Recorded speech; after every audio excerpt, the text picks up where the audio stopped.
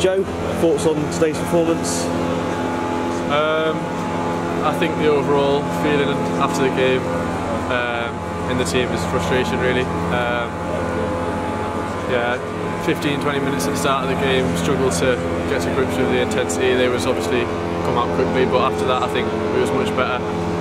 Um, finished the half strongly. Um, same thing with the second half.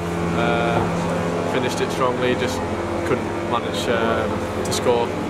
Uh, created plenty of chances, but I think the game was uh, decided on moments really. How was um, Gary after the game? Did he feel like you guys did, did enough, just there wasn't the finish?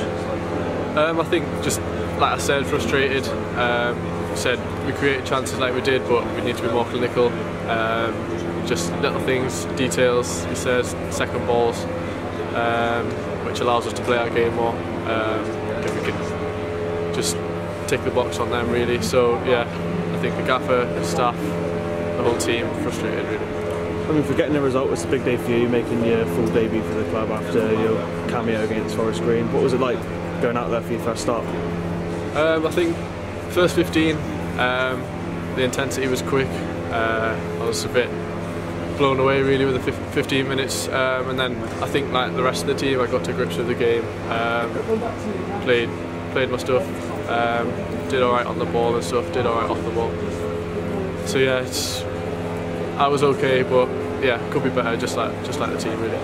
With it being 2 0, I mean, the goals were completely different types of goals. Not much can be done about the first one. What was your view on that goal, the, the strike from Molenbeek? I think it's just, like I said, the game was decided on moments, and that was one for them.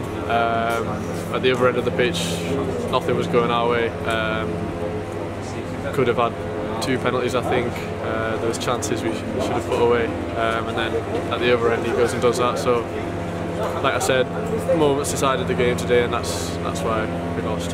Again, it's another moment. We don't have to dwell too much on the second goal, things that have happened to keepers. But you said about there being a couple of penalty shouts down the other end.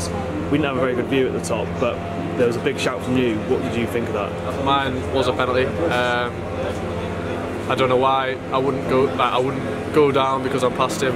Um, so yeah, there's contact in the box, just like Jess at the end. Um, so yeah, personally, I think there should be two penalties at least. Well, you all fought to the end, and you were cheered on massively by the travelling crowd and everything. Anything you want to say to your new fans? Just thank you, thank you for the welcome midweek as well. Um, I've seen a lot of nice messages and stuff, especially when I signed. So thank you, thank you again, thank you for coming today. Um, just yeah, stick with us, please.